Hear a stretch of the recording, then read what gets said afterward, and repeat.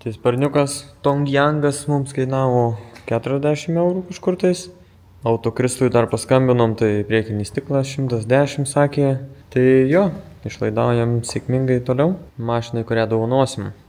Tai pamatytų mano tėvas, tai durnim išvadintų, bet jo, kažkodėl tai nesijaučiu blogai. Nors ir nėra kažkokia situacija, kur turėčiau pinigų kaip šieno. Tiesiog jau jeigu darom, tai darom dabar. Niekur jau nedingsim, stiklą seną palikti subraižytą, kur baisus ten buvo jisai, tai logikos jokios irgi nėra. Naujutėlis Korolso stikliukas, Starletas pasitarnauja pristatymų paslaugom. Autokrislas čia 30 stiklus irgi pirkom. 110 jedriukų. Pasikrovėm Korolso dalis. Važiuosim pažiūrėti, koks progresas įvykęs. Irgi praėjau maždaug savaitę. Pirmuko purkštukai kol kas dar dirba tvarkingai, bet už tai pradėjo guolis užt vienas. Atėjo laikas guoliui, tai ką dabar darysi? Vėlgi primenu dėl Korolso spalvos rinkimo. Video prašymė yra nuoroda į Facebook grupę, kur galite įmesti savo siūlomą spalvą arba pabalsuoti už kito kažko tais įmestą postą. Kol kas laimi Corolla su Rally liveriu kastrolio. Tai kitaip sakant, balta spalva plus liveris. Beje, vis dar ieškau, kas galėtų iš metalo išpjauti su lazeriu ar plazma ten kažkaip pagal kedo brėžinį nes reikės Corolsui triggerį perdaryti, nu, reiškia patikimesnį tiesiog padaryti triggerį kompe. Ir šiaip man karts nuo karto vis prireikia kažką išpjauti. Tai būtų faina rasti kažką iš savo rato. Taip pat gal kažkas tai netyčia turit kažko tais Corolso apdailos, buferiai, lipai, spoileris, kažkas tais. Nes jeigu ten tuo labiau tas rally liveris būtų, tai labai norėtųsi iš kažkur paraut kažkokį lipą ir kažkokį spoilerį irgi. Dėl paramos ir šanso laimėti Corolsą. Tai nusprendžiau palikti abi platformas ir tiesiog kuri kam yra mielesnė platforma, tas per tą galite paremti. Ir visi per abi platformas turės tokius pačius šansus ištraukti burtus laimėti Corolsą, kai jisai bus baigtas. Tai taip sugalvojau tokį principą šiek tiek įdomesnį, kitokesnį. Nepriklauso, kiek jūs e, remsit, ta prasme kokia suma, šansai visiems yra vienodi. E, taip aš realiai skatinu, kad mažesniem sumom remt.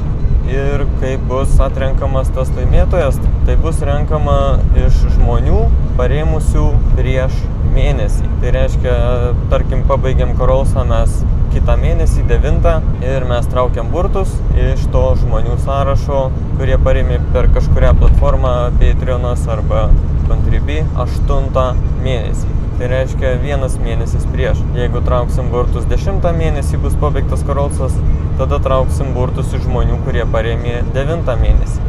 Nu, žodžiu, tokiu principu. Kodėl taip, tai tiesiog yra paprasčiau neapsikrauti ten kažkokių skaičiuoklių nedaryti ir perdėtų dalykų ir kažkokių tai, kad kas kuo daugiau parems, tuo daugiau šansų turės. Ir kitas dalykas, kodėl praeitą mėnesį nes kartais būna tose sistemose vėluojant skaičiavimas, tarkim, pinigų, arba kažkas parėmė kažkurią kitą dieną ir nors ir jisai remia pastoviai kiekvieną mėnesį, bet, va, tarkim, tuo laiku, kai mes trauksim burtus, dar nebuvo tas automatinis mokėjimas padarytas ir tada gausis, kad jisai nebus tam tarpe, žodžiu, tokia nesąmonė. Tai už tai mėnesis prieš. Aišku, norint laimėti, tada reikia nelaukti, kol karosas bus pabaigtas, nes tiesiog mėnesis prieš turi būti parėmęs ir tuo pačiu toksai skatinimas remt ne tik prieš pat Rolso dovanojimą, bet ir ilgesnį laikotarpį, nes plus čia priklauso ir per šitą laikotarpį, kol mes tvarkysim Korolsą, kiek gausiu paramos iš jūsų, nes nuo to priklausys, kiek modų dar darysim Korolsui ir priklausys nuo, nuo sekančio dovanojimo automobilio, kuris niekam nepaslaptis, kad greičiausiai bus E28. Šiek tiek aš drąsiai kalbu taip ankstokai, aš taip gan tvirtai apsisprendęs, kad darysim ir su 28, nes man atrodo, kad viskas labai čia fainai turėtų praeiti. Aš čia kol kas tiesiog perku dalykus ir dedu į korolsą ir visokios medžiagos ir taip toliau. Iki šiol, kiek paremta yra, tai čia aišku supirkta bel kiek dalykų ten, net 30 ir panašiai ten, bet tie pinigai išleisti jau kam kaupta, tam ir panaudota. Tai va žodžiu, aš labiau užsihypinęs, negu kad realiai viskas čia ant hypo vyksta, bet kažkaip vis tiek man patinka šitas reikaliukas. Ir matau kažkaip tais nesunkiai įgyvendinama šitą dalyką, kad visiems būtų labai fainai. Na va, mes ir vėl čia. Mozaika Autobody Shopas, kur gyvena mūsų Korolsas. Na kągi, Korolsas apsidengęs visas matau jau, rūdžių iš vis nesimato, čia arka tai ledinį perverinta. Viskas labai gražu, čia jau turbūt išsmėliuota viskas, čia aišku galit pamatyti viską Babilo kanale. Na taip, žodžiu, progresas vyksta realiai greičiau negu čia aš turbūt tikėjausi, bet labai smagu. Tai Lukai, po, po paskutinio tavo atvažiavimo nemažai darbų padaryta, galiu pasakyti. Tai pagrindinės skilės visas užsilopijom, išsipjaustėm, susitvarkėm. Šiandieną viskas smėliuojamės, her, siūlių hermetikų visas virintas vietas tepamės, realiai viskas praktiškai, liko duris tik tai.